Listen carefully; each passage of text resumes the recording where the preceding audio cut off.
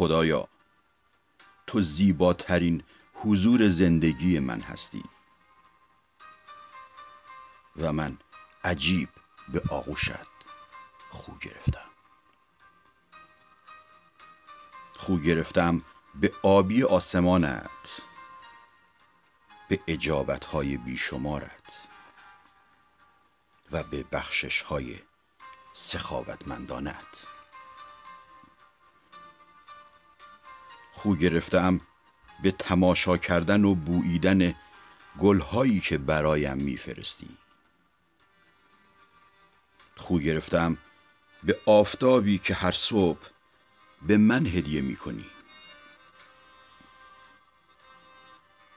خدایا وقتی از من گرفتی و بخشیدی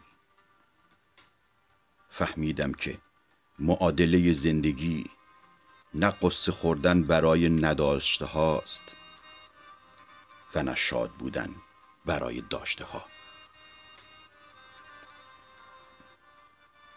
می‌گویند چشمه ها در جاری شدن و گیاهان در سبز شدن معنی پیدا می کنند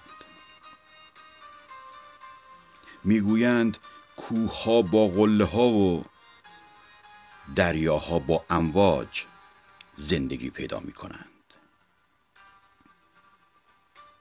و می‌گویند همه انسان ها با عشق.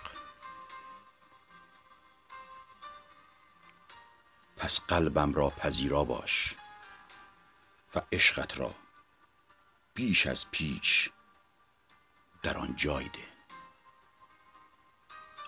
پدر عشقت را. بیش از پیش در قلب من جای ده